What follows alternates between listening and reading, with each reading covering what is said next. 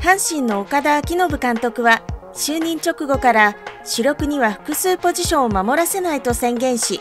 大山悠輔と佐藤輝明の守備位置をそれぞれ1塁と3塁に固定しました。さらに昨シーズンは主にショートのポジションを任されていた中野拓夢をセカンドにコンバート。実は岡田監督は初めて阪神の一軍監督に就任した際にも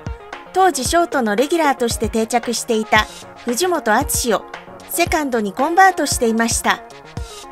前年3割を打っていた藤本の守備位置の変更について当時は干されたと噂されることもあり今回の動画ではその真相について紹介しつつ現在の岡田監督と藤本の関係性についても触れていきます。藤本に突然訪れた恩師からの非常な通告。藤本は現役を引退する際にお礼を言いたい方を挙げてほしいと聞かれると1番に岡田彰信さんですと答えました。藤本はアジア大学時代の1年生の春からベンチ登録を果たしたものの椎間板ヘルニアを患い1年の途中で大学を中退しています。当時を藤本は腰が悪くなってからはお医者さんに野球ができるというよりはリハビリがうまくいかないと日常生活もままならない可能性があると言われて目の前が真っ暗になりました。大学に在学しながら怪我を治すことも視野に入れたんですがアジアの練習は生半可ではないので学校を辞める選択をしたんです。と振り返っています。失意の中で藤本は先が見えないリハビリを続けながらどこかのクラブチームにでも所属して野球を続けようと考えていましたがここで奇跡のような出来事が起きます。藤本の実家は焼き鳥屋を営んでいましたがそこへ元南海ホークスの選手だった店の常連さんが岡田監督と知り合いだったこともあり相談を持ちかけたのです。すると岡田監督はいっぺん会って話がしてみたいと直接会って話をすることを提案し藤本の実家に足を運びました。そして岡田監督は藤本の怪我の状況などを聞いた上で俺が総大で世話になった人が専門学校の野球部で総監督をやってる。そこで2年間野球やって社会人かプロを目指せるようにすればええ。リハビリがてらやればええんよ。と甲賀総合科学専門学校への進学を後押ししてくれたのです。藤本は同校の公式野球部で再び実践経験を積み卒業後は社会人野球デュプロに進み2000年の社会人野球日本選手権大会では山ハ戦を見に来ていた当時阪神タイガース監督の野村克也の前で中日に指名されることになる岡本慎也から3安打を放ちました。この年のドラフト会議で阪神は藤本の指名を予定していませんでしたが野村は自らが視察した試合で活躍した藤本を記憶しており足と守りだけでもいいからと進言し7位で獲得。翌年のキャンプでは野村監督が機動力野球の象徴として売り出した F17 の一人に指名されるなど1年目から打率2割6分9厘を記録するなどショートのポジションで存在感を見せます。そして持ち前のしぶとさと堅守で2003年の優勝に貢献した藤本でしたがそこへゴールデンルーキーとして鳥谷隆が鳴り物入りで阪神へ入団します。お前らユニフォーム脱げよ。鳥谷にポジションを奪われた藤本。藤本は2003年の開幕からショートのスタメンに定着し阪神の18年ぶりのリーグ制覇に大きく貢献。打率も最終戦で2安打し3割の大台に乗せました。主に8番で起用されていたことから藤本は恐怖の8番打者として呼ばれるようになり可愛らしい弟キャラが受け入れられてオフのテレビ番組には引っ張りだこの存在。3年目で優勝チームのレギュラーであり藤本が打席に立てばヒッティングマーチが流れ大声援が送られる。特に阪神は他の球団以上にそれが極端な形で現れるため若い選手は往々にして周りが見えなくなり谷町と一緒になり夜の街に繰り出すなどいわゆる阪神病を患う選手も少なくありません。後年になり藤本は自重気味に。阪神やったらちょっとだけでも活躍したら周りがチヤホヤしてくれる。もちろん打てんかったりミスしたらめっちゃヤジを飛ばされますけどどっちかっていうと応援してくれることが多い。だから天狗になるというよりは勘違いしてしまうんですよね。俺これでいいんやみたいに。と当時を振り返っています。実際レギュラーとして浮かれ始めている藤本を金本智明は危惧しており俺はプロとしての目標がなくなると思ったからお前に3割を打ってほしくなかった。レギュラーっていうのはな5年くらいポジションを守り抜いて初めて言えることなんだぞ。プロの世界は一寸先は闇だからなとの忠告を藤本に授けていました。金本の忠告は悪い意味で的中することになり2004年に藤本は前年3割を打ちながらも鳥谷との競争を強いられることになります。即戦力の大型内野手という期待から多くのファンメディアが殺到することはよくある話ですが鳥谷のケースはレベルが違いました。熱狂的な鳥谷信者とみられる一部ファンがグラウンド外で暴走しなんと藤本の実家に鳥谷が入団してざまあ見ろなどとても言葉にはできない誹謗中傷や過激な脅し文句の手紙を送り警察沙汰にまで発展する騒動を起こすほどでした。この脅迫騒動が発生したのは鳥谷がまだ公式戦で一度も打席に立っていない段階でありひいきの引き倒しと言える状況でしたが鳥谷はこの後グラウンド内でも他ナインからのひいきの声に悩まされます。岡田監督は母校総大の大先輩で就任1年目であったことから鳥谷は色眼鏡で見られることが多く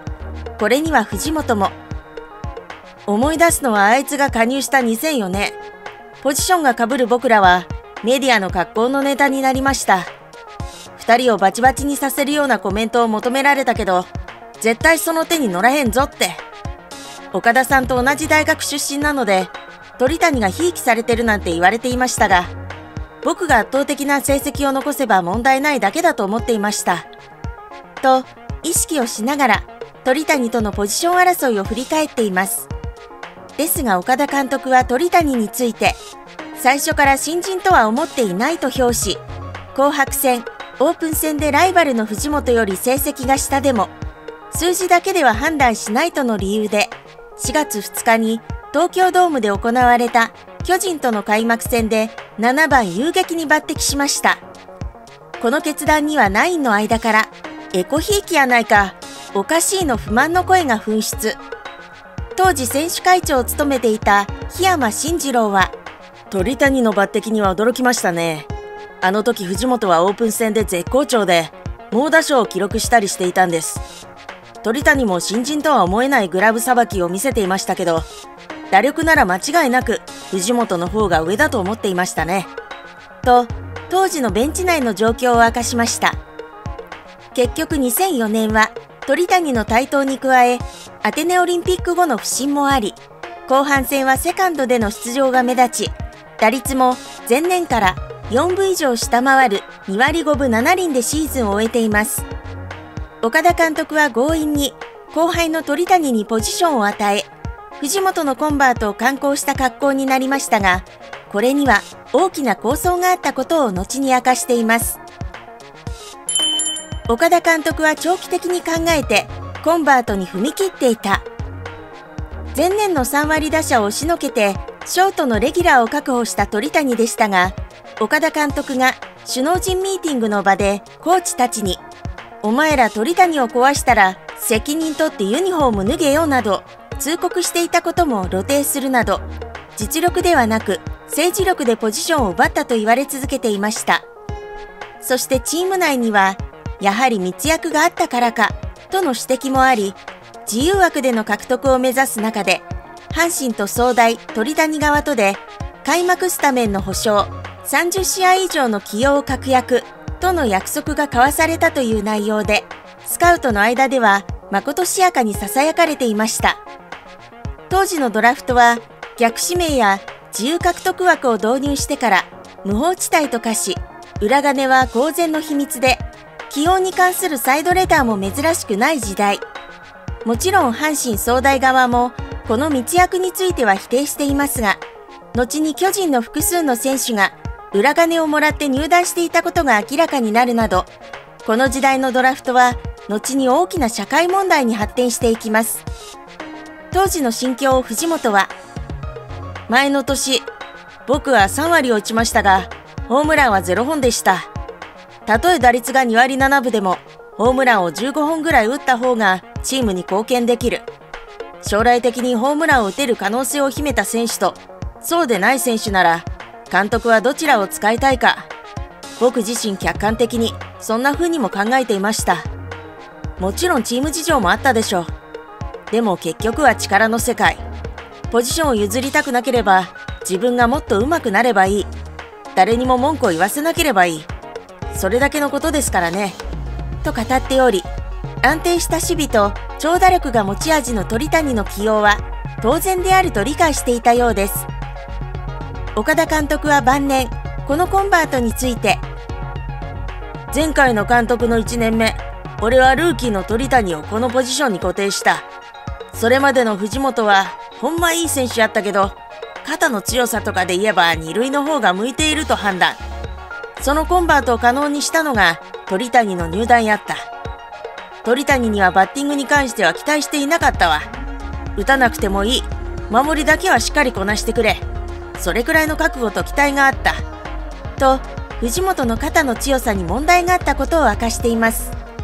また岡田監督は2004年の正二塁手である今岡誠の守備にも不満を募らせていましたが天才的な打撃センスを評価しており動きが多い二塁よりも三塁に固定し打撃に集中させる決断も行っています。鳥谷を可愛がっているから起用したとの声に対して岡田監督は壮大の後輩やからとかひいきしているなんて声もあったようだがそんなんで野球は戦えないやろあの時点での鳥谷の可能性は1年目からレギュラーで起用するだけのものやったしそこから長くショートを守るのは目に見えていた。現実にその後